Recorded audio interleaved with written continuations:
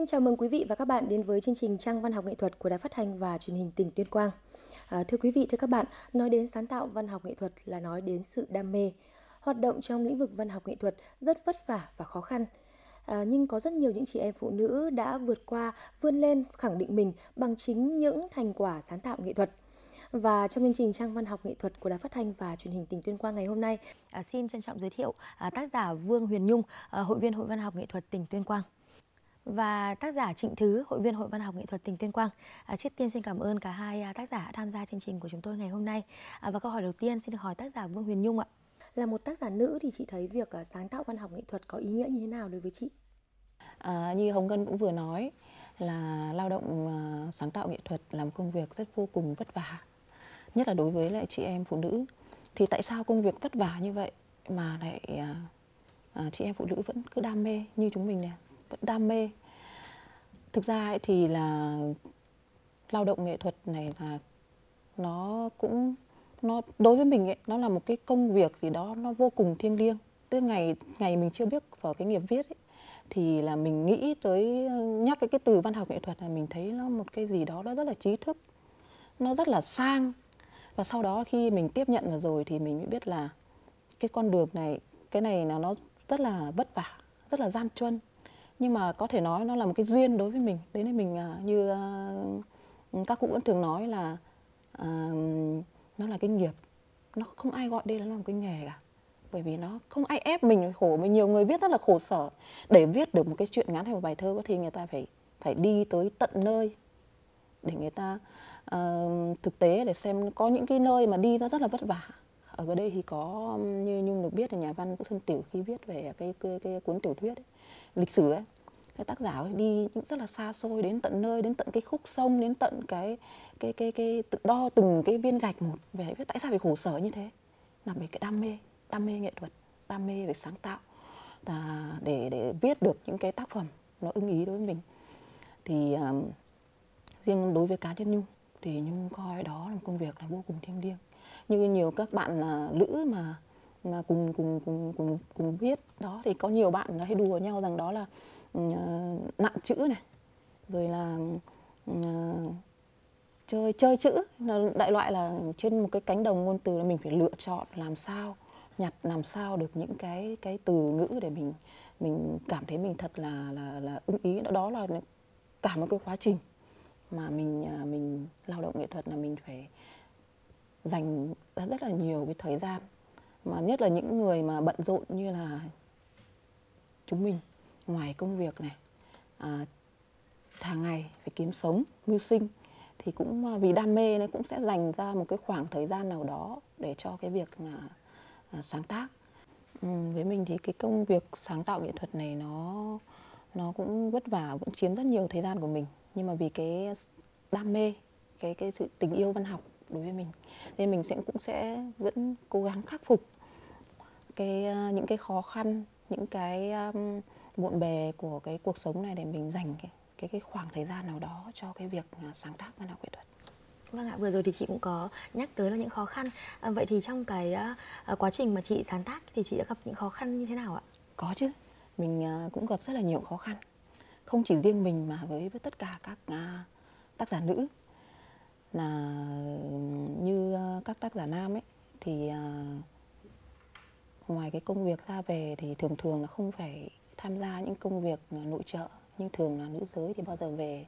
Xong công việc của mình rồi về vẫn phải tham gia những công việc nào là con cái này rồi là nhà cửa này rồi đủ các mọi thứ không tên.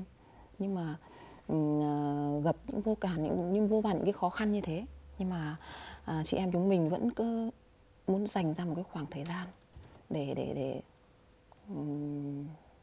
để, để dành cho cái việc viết lách thường thì uh, mình cũng gặp rất là nhiều những khó khăn. À, cụ thể là trong những cái thời gian này thì mình cũng rất là nhiều những công việc nó trồng chéo thậm chí là nhiều lúc mà muốn viết một cái gì đó mà cứ bảo để dành đến tối đến tối sau khi buông cái công việc rồi nó mệt mỏi quá có khi lại chìm vào giấc ngủ.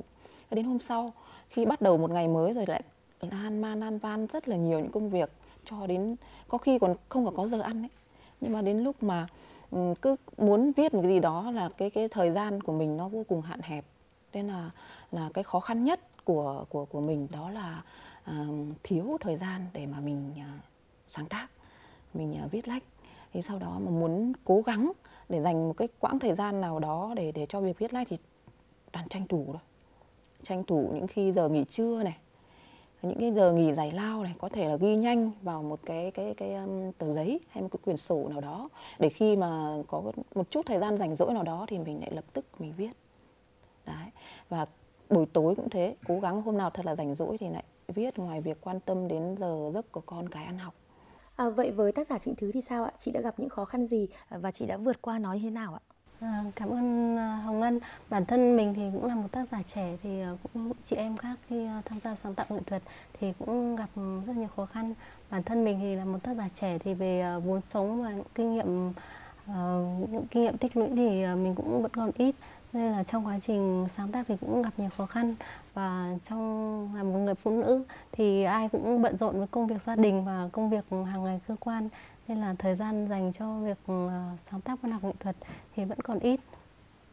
Ờ, nếu như là những tác giả nam thì ờ, họ sẽ có thời gian nhiều hơn để buông bỏ lại những, đằng sau bỏ lại gia đình ạ, thì để đi thực tế ở nhiều nơi. Có khi có khi là họ sẽ đến thực tế ở những cơ sở, những đơn vị xa hạn, họ có thể ở lại vài ngày hoặc là khám phá những vùng đất mới có thể đi lâu hơn cũng không phải bận rộn với việc ừ, lo toan cho gia đình nên là họ sẽ yên tâm để uh, lấy tư liệu sáng tác và sẽ có nhiều tác phẩm hơn là những tác giả nữ nó cũng sẽ có ừ. nguồn cảm hứng hơn vâng, đúng không? Vâng, à, vậy thì thứ đã làm như thế nào để có thể vượt qua những cái khó khăn đó? À, với những khó khăn như thế thì ờ, bản thân thì cũng đam mê với sáng tạo văn học nghệ thuật. Thì ờ, bản thân cũng luôn không ngừng là tích lũy những bốn sống cảm xúc cho riêng mình. Thì có những lúc mà thời gian mà có cảm xúc thì mình sẽ ghi lại những cảm xúc đấy. Trên thường là mình sẽ ghi lại cảm xúc đấy ở trên Facebook và để chế độ riêng mình tôi và khi nào mà cảm xúc nó lại dâng trào trở lại thì mình lại chắp bút để viết lên những câu chuyện hoặc viết lên những bài thơ của mình về những gì những cảm xúc mình muốn viết. Ờ, là một tác giả trẻ của Hội Văn học Nghệ thuật tỉnh Tuyên Quang. À, vậy thì Thứ có thể ờ, cho khán giả biết là cơ duyên nào đã đưa chị đến với văn học nghệ thuật ạ? Ừ, bản thân mình thì cũng sinh ra và học ở trường làng thì việc ừ, được đọc những tác phẩm văn học nổi tiếng thì mình cũng rất ít khi được ừ, tiếp cận với những tác phẩm nổi tiếng. Mình ngày xưa thì chủ yếu là cũng đam mê văn học qua những trang sách giáo khoa. Có những buổi là buổi sáng đi học và buổi chiều đi làm công việc thường nhật, thì lúc nào rảnh rỗi thì mình vẫn thường là đọc những quyển sách ừ, mượn từ thư viện thì sách ngày xưa thì rất là quý, thì thường là từ thế hệ này sang thế hệ khác, thì mình cảm thấy là mình rất trân trọng, rất trân quý những trang sách đấy. Và dần dần mình cảm thấy những điều mà viết trong sách nó lại cũng rất là gần với đời sống của mình. Và mình cũng này ra sao lại mình lại không viết ra những điều đấy, những điều mình suy nghĩ. Thì dần dần thì em lại viết ra những điều đấy lúc đầu là viết ở những trang nhật ký bằng những tờ quyển vở học sinh bình thường. Xong dần dần thì mình viết thành một quyển nhật ký. Và sau những quyển nhật ký đấy cũng trở thành những cái nguồn cảm hứng cho mình. Mỗi khi mình đọc lại, mình lại được trở về những giây phút mà mình mình viết lại ạ, thì mình lại thấy những điều đấy nó lại rất là ý nghĩa với mình và nó thôi thúc mình là luôn muốn viết ra những điều mình suy nghĩ.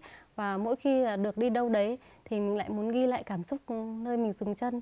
Nó đem lại cho mình nhiều niềm vui. Có lúc thì mình lại lắng động mình suy nghĩ về một cuộc đời của ai đấy thì lại làm cho mình khiến mình muốn viết nhiều hơn. Và cũng nhờ những đam mê những điều mình muốn viết thì uh, bắt đầu mình dần dần tìm hiểu về uh, khi mà đi học lên chuyên nghiệp ạ thì bắt đầu mình tìm hiểu về các nhà thơ nhà văn và mình thấy được họ viết như nào thì bắt đầu mình cũng tập tệ bắt đầu cũng viết viết thơ thì à, cũng rất may là cơ duyên là gặp gỡ và quen nhà thơ Đinh Công Thủy thì là một trong những nhà thơ là dẫn dắt và định hướng à, mình vào trong hội văn học nghệ thuật. Và từ đấy thì mình cũng cảm thấy yêu nghề viết hơn và muốn viết nhiều hơn về quê hương của mình, viết về những con người xung quanh mình.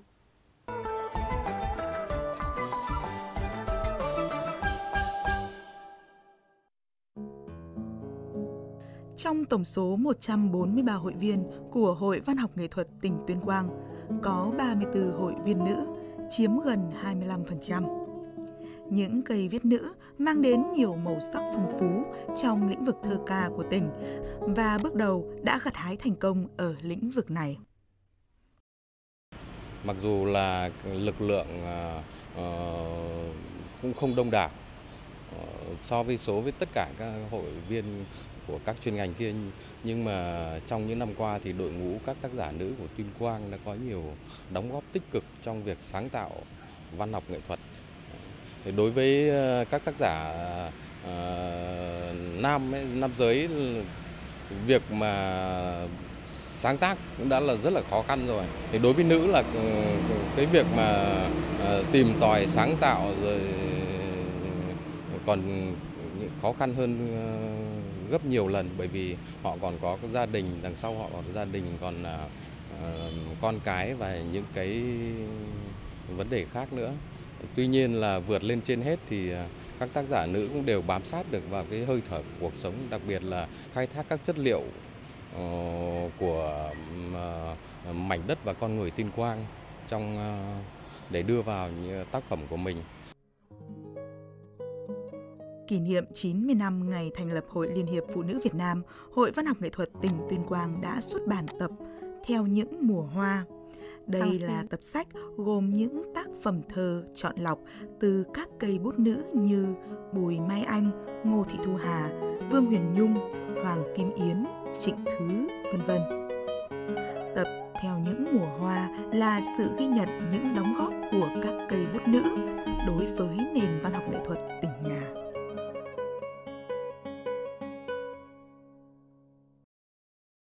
Sách có tên là Theo những mùa hoa và dày gần 200 trang và chúng tôi ờ, coi rằng đây là một món quà ờ, khẳng định cái sự đóng góp của các tác giả nữ của Hội Văn học Nghệ thuật Tuyên Quang trong suốt những năm qua.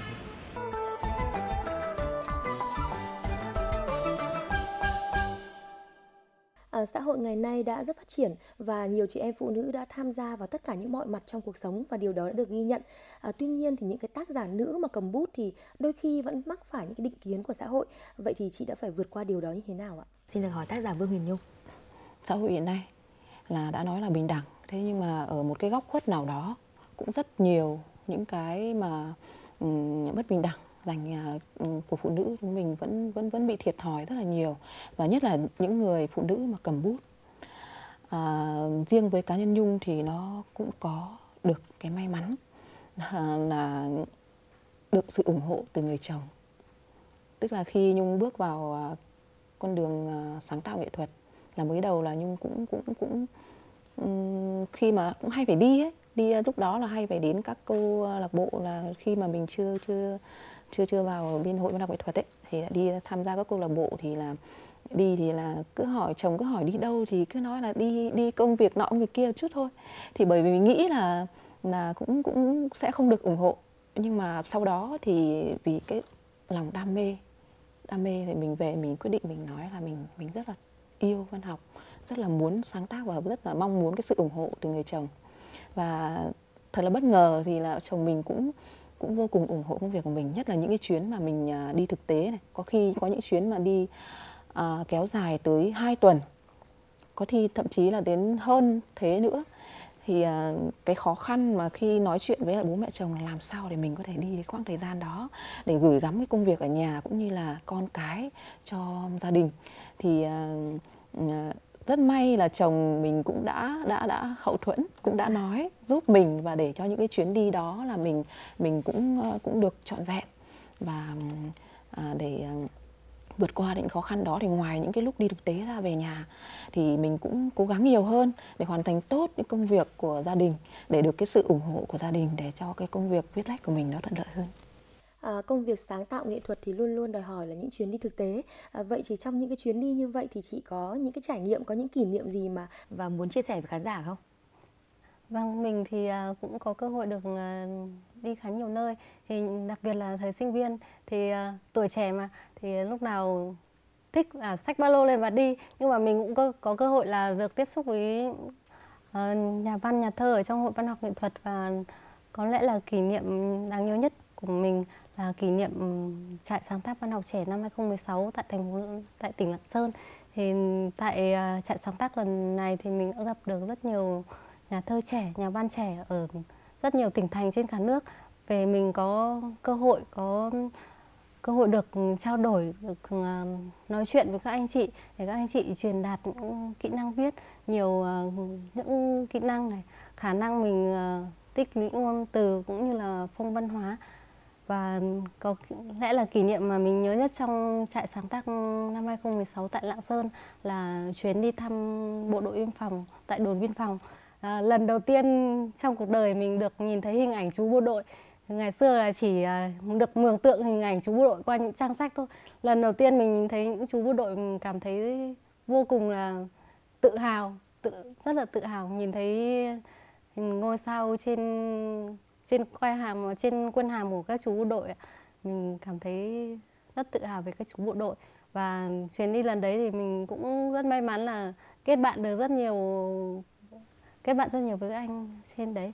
Và thi thoảng thì các anh cũng hay nói chuyện kể chuyện về những câu chuyện ở trên uh, biên phòng những lần tuần tra. Thi thoảng thì những anh em vẫn hỏi thăm nhau. Và đặc biệt là những anh bộ đội biên phòng trên đấy Ờ, trong đồn biên phòng thì uh, các anh bộ đội thì cũng có riêng cho riêng mình một phòng đọc và mình cũng được tham quan phòng đọc và cũng thấy là ở trong phòng đọc của các anh bộ đội cũng rất nhiều ờ, tạp chí về của, của các báo văn nghệ.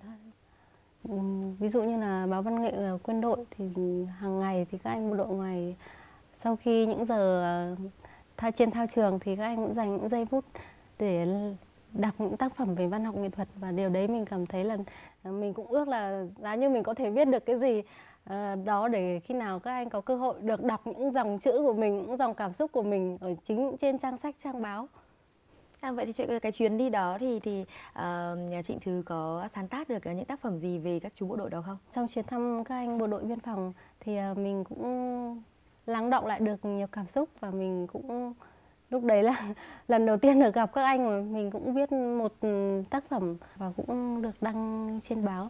Và mình cũng khoe với các anh là em đã viết tặng anh tặng riêng các anh một bài và các anh có thể tìm đọc. Là em dành chọn tình cảm gửi lại các các anh. À, vậy còn tác giả Vương Huyền Nhung ạ chị có thể chia sẻ một chút những kỷ niệm trong quá trình sáng tác của mình ạ? À, Nhung thì có một cái cái cái kỷ niệm trong cái quá trình đi thực tế sáng tác thì nó cái câu chuyện nó rất là vui. Tức là khi mà nhung quyết định đi lên à, một cái ờ, vùng cao của của đồng bào dân tộc ấy thế năm đấy là có một cái cái cái lễ hội là đây có cái rừng lê rất là đẹp.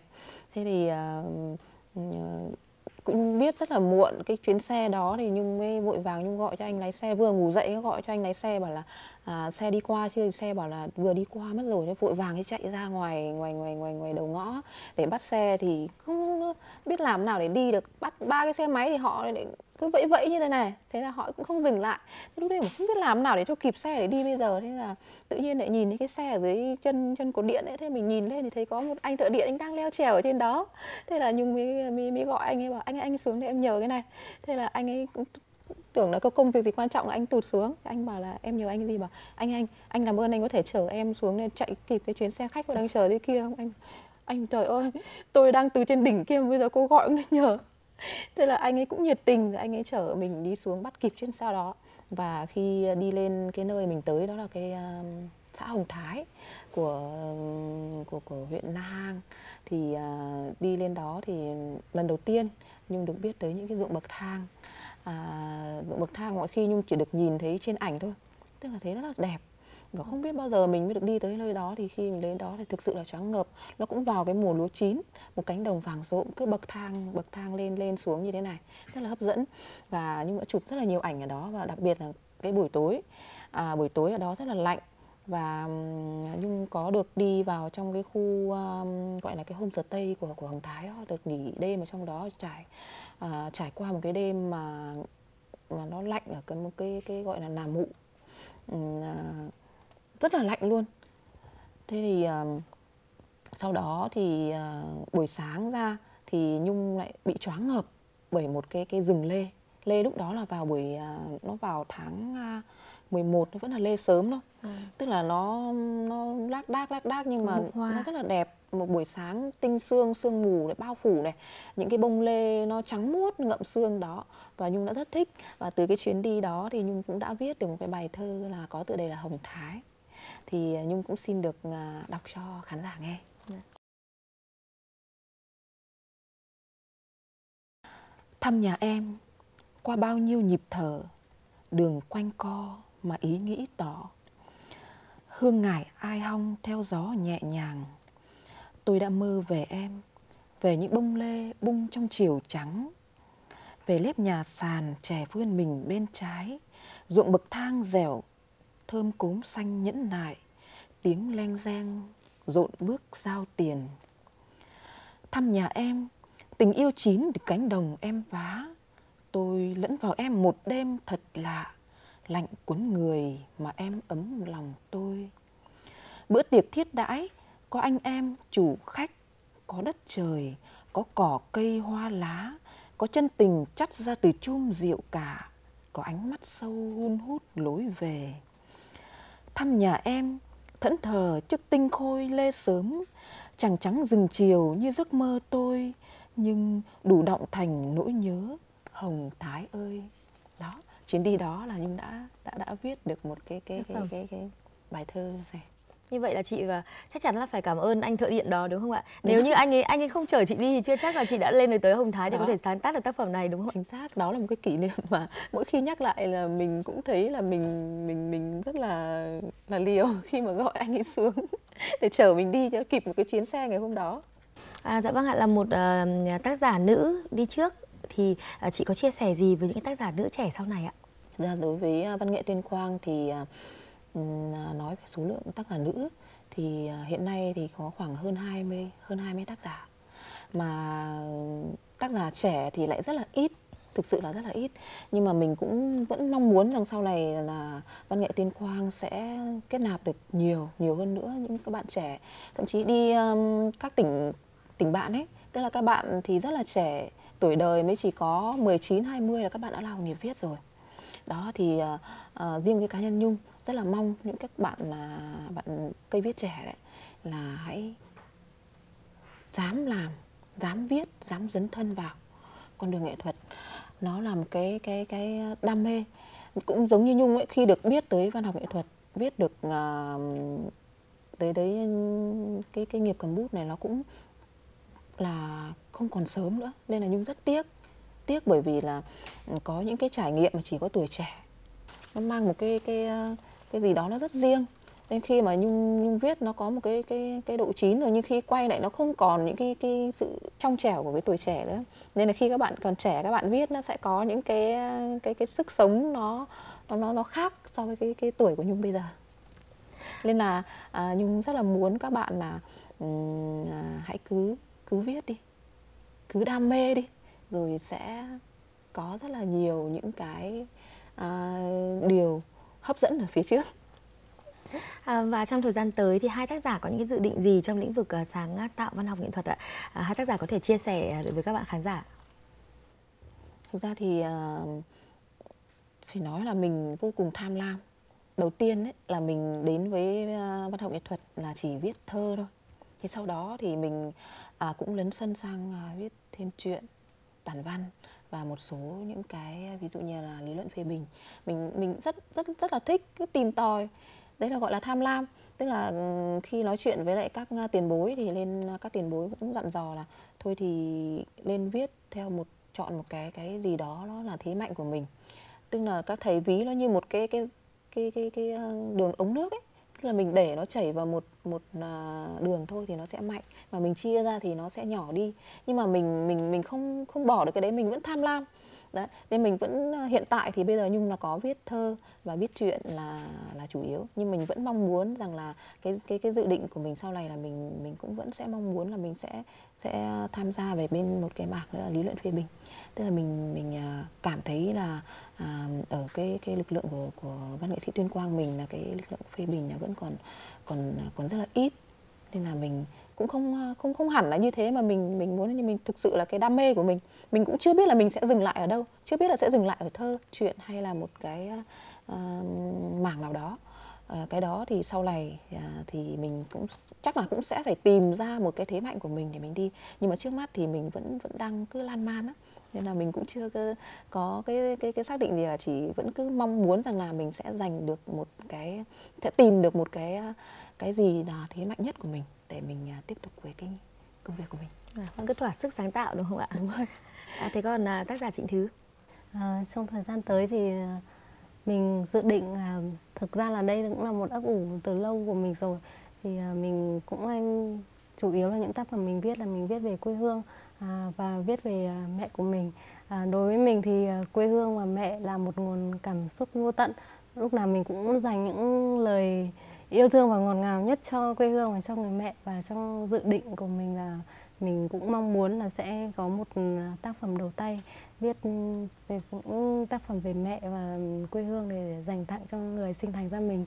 Người đã luôn à, thắp sáng ước mơ đam mê cho mình.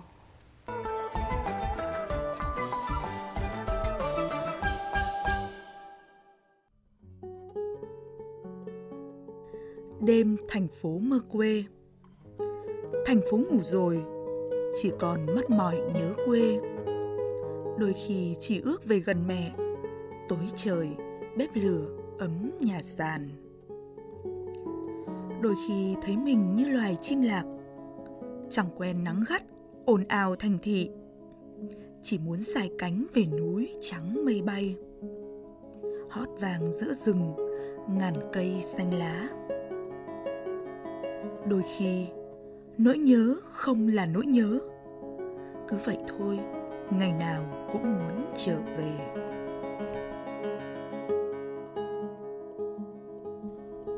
Ngôn ngữ của đôi tay.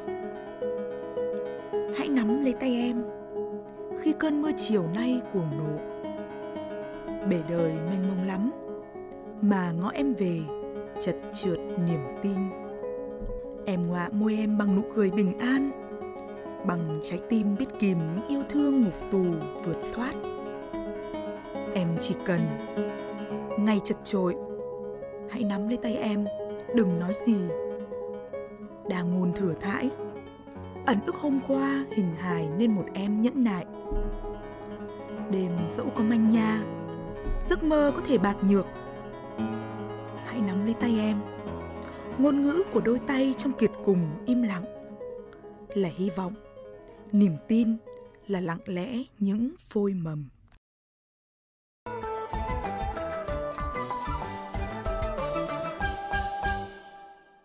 À, thưa quý vị, thưa các bạn, so với lượng văn nghệ sĩ là nam giới thì à, các tác giả nữ không nhiều, à, nhưng họ vẫn luôn là một à, lực lượng nòng cốt à, trong đội ngũ sáng tạo văn học nghệ thuật của tỉnh nhà. À, tôi xin mượn lời của nhà thơ Y Phương để kết thúc cho chương trình ngày hôm nay.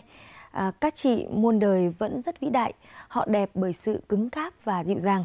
À, vì thế, nói về phụ nữ viết văn, tôi chỉ biết vô cùng ngưỡng mộ. Và thưa quý vị, thưa các bạn, chương trình Trang văn học nghệ thuật của Đài Phát thanh và Truyền hình tỉnh Tuyên Quang xin được khép lại tại đây. À, cảm ơn sự có mặt của hai khách mời trong chương trình ngày hôm nay và cảm ơn sự quan tâm theo dõi của quý vị và các bạn. Xin kính chào tạm biệt và hẹn gặp lại quý vị và các bạn trong các chương trình sau.